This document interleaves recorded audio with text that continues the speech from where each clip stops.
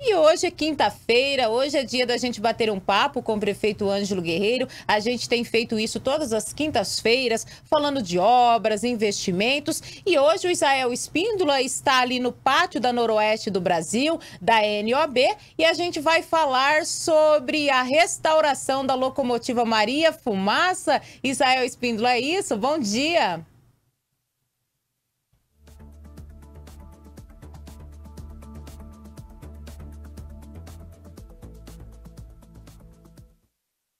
Pedir para você verificar o microfone, não estamos conseguindo te ouvir, né? A gente vai ao vivo com Israel Espíndola, que está lá no espaço da NOB, da Noroeste do Brasil, e vai trazer informações para a gente ao vivo agora a respeito da restauração da Maria Fumaça. Agora sim, Israel, bom dia para você. É, é... Oi, Ana, bom dia novamente, bom dia a todos novamente, né? Pois é, estou aqui bem de frente da locomotiva, Maria Fumaça, ficou a coisa mais linda, viu, Ana? Realmente foi um trabalho de restauração impecável. E quinta-feira é dia de prestação de contas. Estou aqui com a secretária Ângela Brito, prefeito Ângelo Guerreiro. Prefeito, muito bom dia. É um, mais um trabalho, mais uma obra que vai ficar para a história de Três Lagoas. Bom dia. Bom dia, Israel. Bom dia, Ana. Bom dia a todos os ouvintes. Bom dia a todos os nossos internautas, telespectadores. Que cumprimentar a nossa secretária Ângela Brito, da Educação. Em nome de cada um de vocês, cumprimentar a todos os nossos colaboradores da Prefeitura Municipal, da forma que vocês estão observando. É a nossa equipe, que é coordenada pelo diretor do departamento do DOS, Osmar, né, que está fazendo esse translado é, da então esse então patrimônio histórico é, que nós três lagoenses é, fizemos aí essa restauração para poder daqui a alguns dias estar aberto as visitas, né, Israel? Para todos, principalmente os ex-ferroviários, os ferroviários antigos, familiares, para resgatar essa memória tão importante que foi um dos pilares que desenvolveu não somente Três Lagoas, mas o Mato Grosso do Sul, como um todo o nosso Brasil querido. Pois é.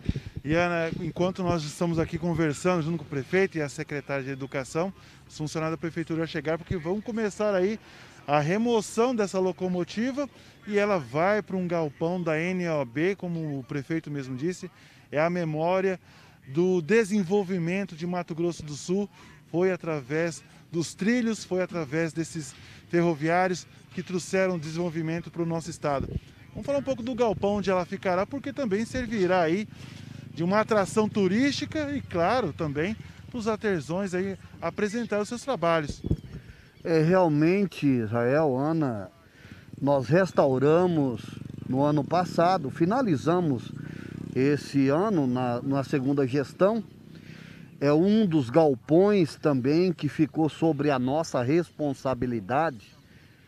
É, no dia 31 de agosto desse ano, secretário, até agora no poço aí à frente, é, vai fazer três anos que nós assumimos toda essa área do DENIT, né, que era uma expectativa de todos os três lagoenses. E a partir do momento que nós assumimos é, por 30 anos, claro que isso daqui vai continuar de 30 para 60, para 90, para os novos gestores, para a nova geração Três Lagoas, é, não, não mais sairá do patrimônio de Três Lagoas nós assumimos também todos os passivos é, dos barracões antigos que estavam praticamente caindo. É, e com maior cuidado, como todos já têm esse conhecimento, que eu sou apaixonado, acho que não somente o prefeito, como todos nós três lagoenses, pelos patrimônio antigo, e nós temos que não só construir, nós temos também que cuidarmos do que está pronto. E nós temos feito isso, a nossa equipe tem feito isso. E esse barracão foi na sua totalidade restaurado.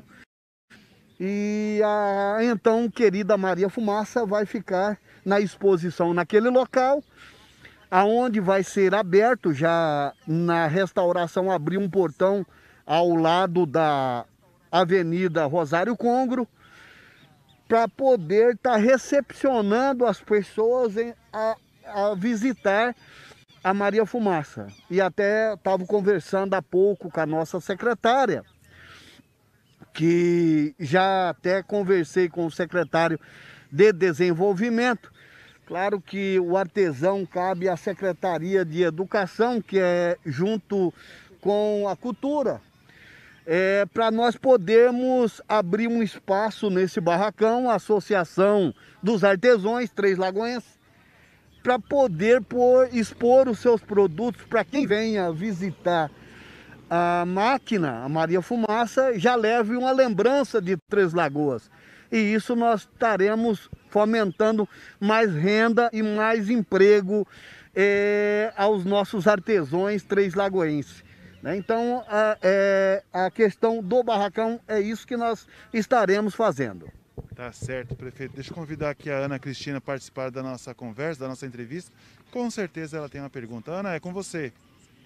Pois é, primeiro agradecer ao prefeito mais uma vez, hoje aí com a secretária de Educação, né? E dizer que realmente ficou lindíssimo a Maria Fumaça. A gente que acompanha esse processo de restauração dela desde o início, levou desde o ano retrasado, começou no final de 2019. Esse processo é um processo bem demorado, porque requer muito detalhes, não é simples uma restauração. E ontem a gente esteve aí, ficou lindíssima a Maria Fumaça. Parabéns, né, ao prefeito por essa iniciativa.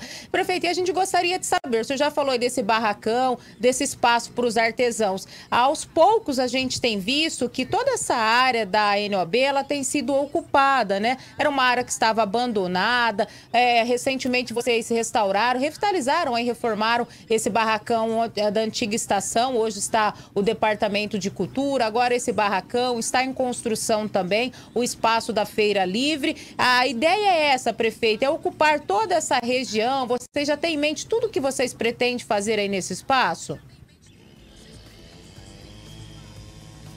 Uma boa parte, Ana, nós já temos sim. Inclusive, essa região onde nós estamos nesse momento, que nós já temos um projeto que já era até para ter restaurado a calçada da Rosário Congro e a parte desse muro antigo que todos é, até o então não entende ainda o porquê o prefeito Ângelo Guerreiro não restaurou por conta do desenvolvimento desse projeto.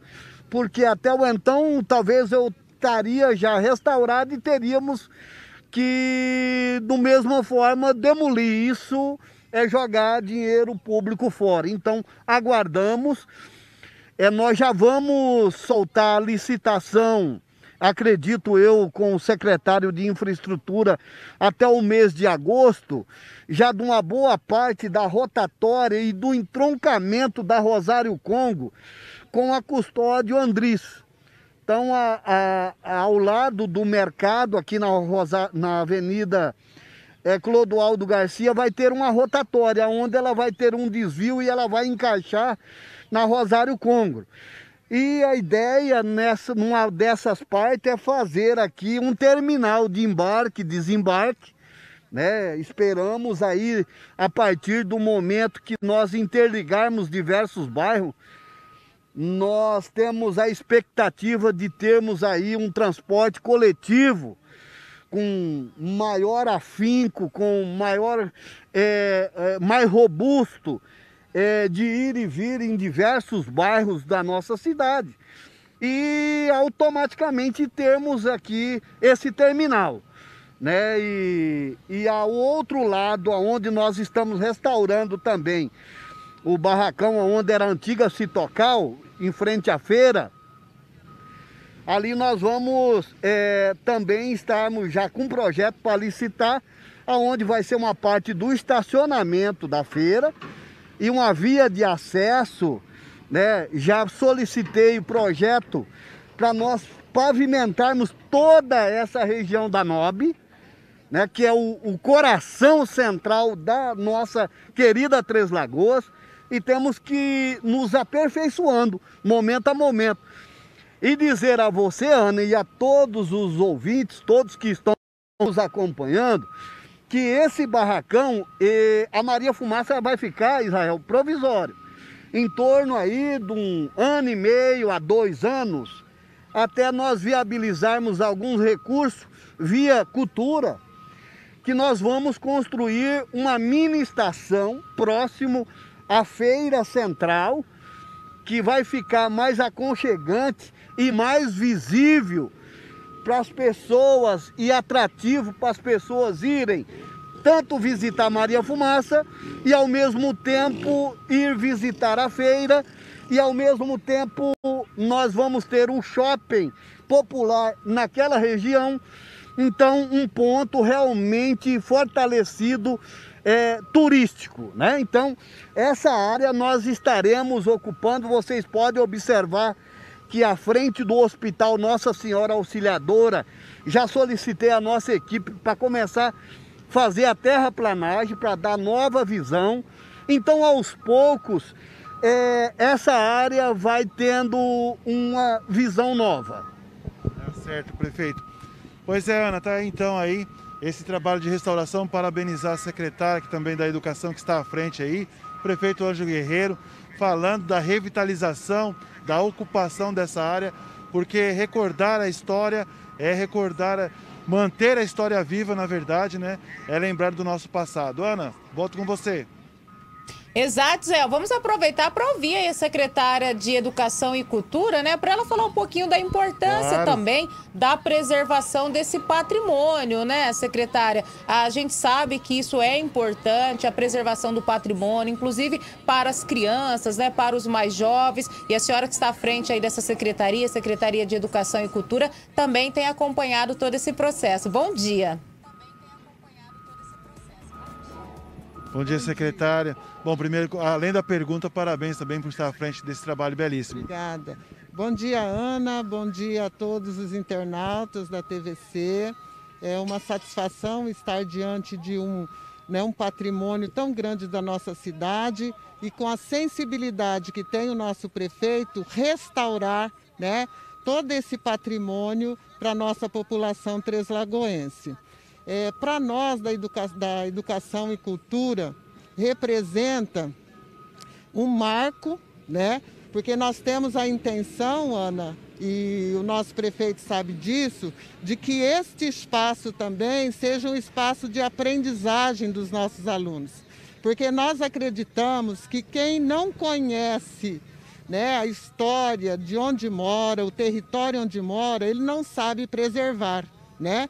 A partir do momento que nós preservamos e entregamos para os nossos alunos, para a nossa sociedade, eles começam a entender né, de onde partiu, de onde surgiu a cidade, de onde tudo começou, né?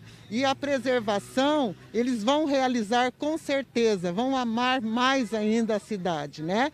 Então a gente fica assim, muito feliz de depois de 40 anos, né, que essa locomotiva estava aí é, escondidinha, né? O prefeito com essa sensibilidade de preservar a cultura, né, é, de Três Lagoas, os patrimônios, ele vem trazer isso para toda a sociedade e também para os nossos estudantes e, consequentemente, né, para toda a educação. Então, vai ser um, um patrimônio que vai trazer muito da história, da geografia né, da nossa cidade. Tá certo, secretária. Obrigado. É isso aí, viu, Ana? Tá aí a locomotiva, a Maria Fumaça, esse símbolo tão marcante para Três Lagoas.